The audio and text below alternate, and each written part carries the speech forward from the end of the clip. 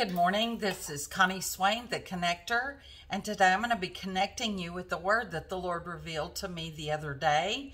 It's not something that will be um, life shattering, it's something we all know and recognize. We just have not put two and two together.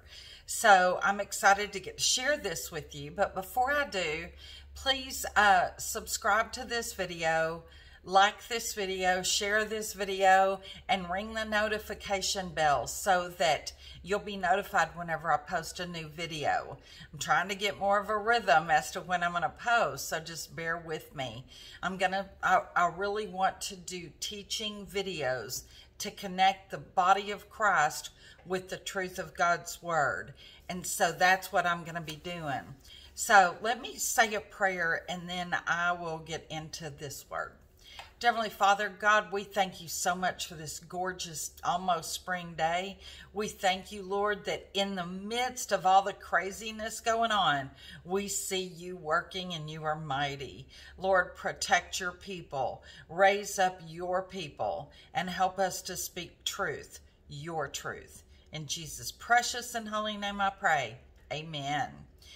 So I was at a prayer gathering the other day, and the Lord showed me something during that gathering, and it um, we've seen we've seen all the craziness going on in our nation's leadership and beyond. Many years ago, God showed me that if we pay attention to culture and what is going on in the world, we'll know what's going on in the spirit realm. There was a commercial many years ago. It was an insurance commercial. And it was this guy that would just cause all this crazy stuff to happen. And he called his name Mayhem. He said he was Mayhem. Well, I knew then that the Lord was showing me that a spirit of mayhem had been released in the earth at that point in time. So that became a prayer point for the prayer groups I was with and the one I organized and oversaw at the time to come against that spirit of mayhem that had been released in the earth. So today, I'm going to be talking about another spirit that has been released. Many of you are seeing the videos of some of the absolute um, delusional behavior of leaders. And there was one even last week that wasn't even funny because it was just so crazy um, about Open Sesame. I'm not going to tell you anymore. I don't want to mention names. I don't want to do any of that. But when I tell you what the Lord told me, it will make so much sense. The Lord told me as we were praying and seeking God, He told me that a spirit of confusion and chaos has been released in this earth. That is a tool that the Antichrist spirit that came about a few years ago um, is using to cause confusion. And when the Lord showed it to me, um, it was just, it was like, oh my gosh, that's so true. So let me read you a little bit of what I wrote after that. You showed me an actual spirit of confusion and chaos has been released in uh, our nation's capital. It manifests through the weakest links. It's so overwhelming that even those with the most common sense struggle, and others may see it but are confused as to what is happening.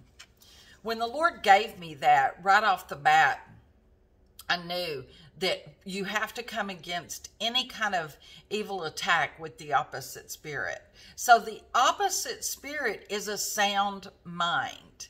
When you've got things coming out of people's mouth that are confusion and chaos and wreaking havoc, then you have to operate out of a sound mind to establish truth and God's will and God's way. So as I was looking at that, I immediately I got on my phone and on the app and I looked up sound mind.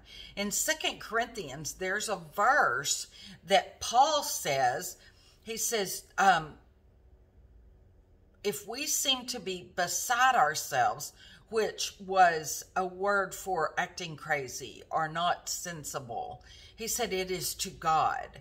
But if we are of a sound mind, it is for you. And what Paul was saying was even though some of the things you're hearing from us and some of the things you're seeing us do may not make sense to you, our worship, our prayer, our devotion, the teachings that we're bringing about, those things may seem crazy to the status quo. But when we are speaking and explaining it to you and teaching you the truth of it through a sound mind, it is for the people. And the Lord said that is the way we have to combat this. Keep in mind that even Jesus was accused of being crazy.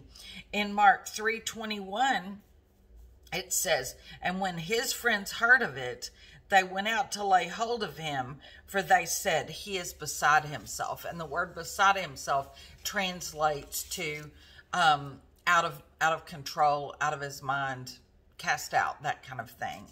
And then in John 10 20, uh, it says, And many of them said, He hath the devil and is mad. Why hear ye him? So they thought he was crazy because of the things he said and the things he did. But yet, when he spoke, it was truth. And truth is that sharp two edged sword that cuts to the joint and the marrow, and it separates the lies from the truth and it helps us understand God's will and God's way. So Paul was saying in Second Corinthians that they were willing to be abused, accused, and abandoned for the cause of Christ. But they were also willing to go in and through the power of a sound mind teach the truths and the word so that the people had a basic um, a basis and a foundation to operate out of. God wants us to operate out of a sound mind. When I saw that verse, the next thing after the Lord kind of helped me lay that out, the spirit of confusion and chaos has been released. The people of God must operate out of a sound mind in order for that truth or for that chaos to be dispelled. That's the only thing that can come against chaos. And the Lord took me to a vision or an image earlier that day, or maybe even the day before. I had seen one of our senators on the House floor, and he was talking, and he, this is a godly man. And the Lord showed me that when our legislators are standing up to speak, we need to pray and declare and decree that God gives them a sound mind so that when they speak and the words that they speak come forth, then I literally saw that as he spoke, confusion and chaos just shriveled up and went away. Because nothing, nothing, nothing, nothing in this earth can stand in the face of truth we watched um, the whole everyone watched a couple of weeks ago as they're looking to confirm um, someone who is way outside of the norm and God's will for our world and for this nation. They're looking to confirm him. And a senator asked them point blank a question and they could not answer it. They gave a pat answer two or three times, and the senator declared, Let it be noted, this person refused to answer my question. That was very telling because in that person's mental chaos and confusion of their life, they were re- revealing who they really were. And that's what's going on. So much is being revealed right now.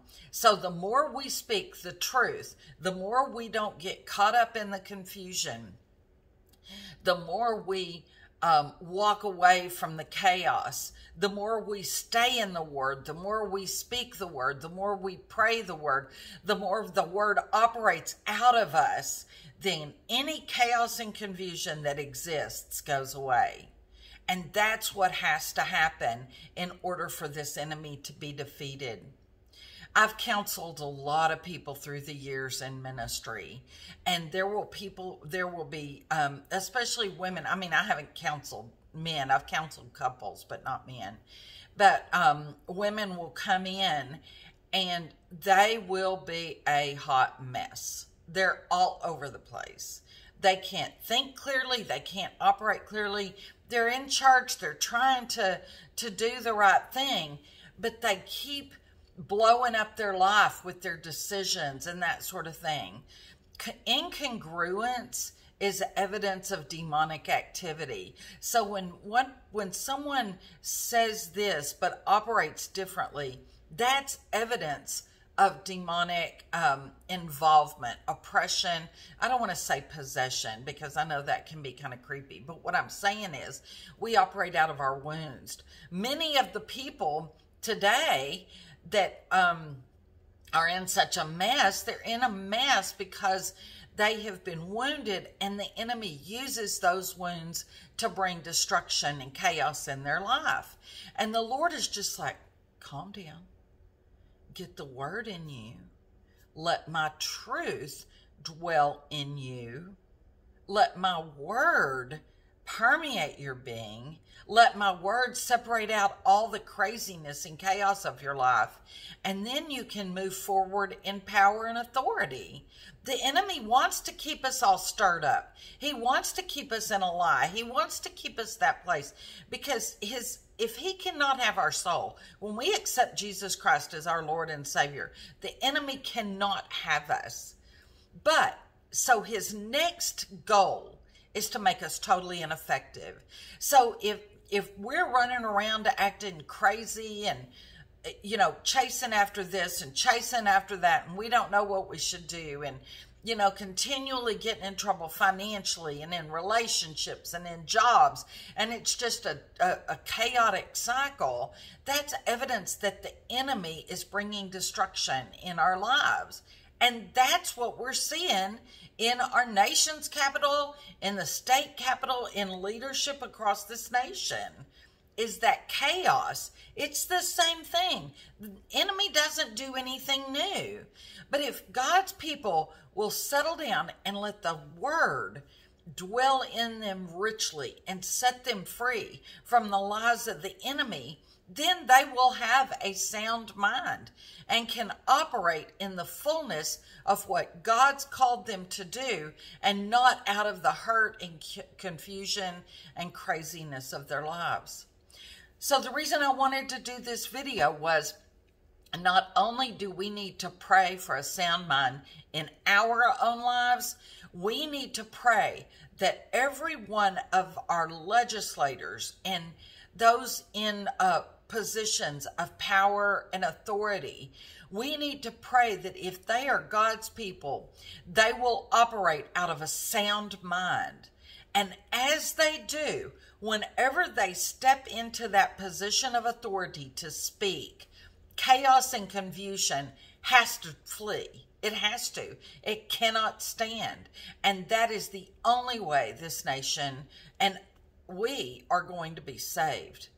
So today I want to just encourage you in that in your own life that God helps show you wherever there's chaos and confusion in your life how to come against it. Please don't hesitate to reach out to me. Um, if you if you need some counseling or some help, um, I may not be able to counsel you, but I've got some great godly friends who can. And let the Lord give you truth. And as you get more and more into the Word, let the Lord show you the lies. A lot of the stuff we're seeing is because people are believing so many lies. A lot of the uh, hurt and woundedness of this past year as we go into the anniversary of the quarantine.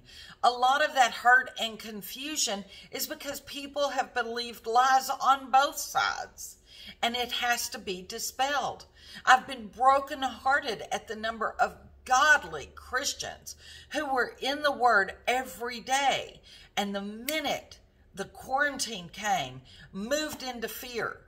That it was like there was no faith that they would be okay. There was no faith that God would lead and guide them and direct them. They immediately moved into fear, and fear overtook them. And now there are people that can't even lead their lives, leave their homes, and lead their lives because fear has so permeated them they're they're still afraid and one fear leads to another. So now they have agoraphobia where they can't even leave their homes. That's just ungodly. It's unconscionable. And we cannot continue to use the fear of this virus to keep us from being and doing everything God's called us to do. It's time to be free, people. It's time to be free. And the only way we can be free is through a sound mind. So, Father God, I thank you for my friends. God, I ask you right now in Jesus' name to everyone hearing this video watching this video. Lord, I pray for a sound mind. Lord, begin to show them the lies they have believed. Begin to tear down those structures that the enemy has used to keep them from being all God has called them to be.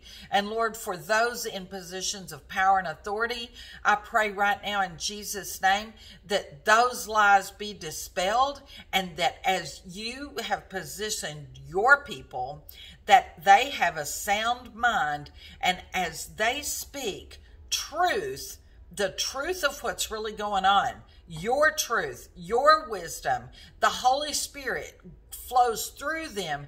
Chaos, chaos and confusion must flee. It must flee and go back to the pits of hell where it belongs. And Lord, the spirit of Antichrist that was released, I bind that in Jesus' name. It will begin to wither up and die as its strong man, chaos and confusion, is defeated. Now, Father God, I thank you for that.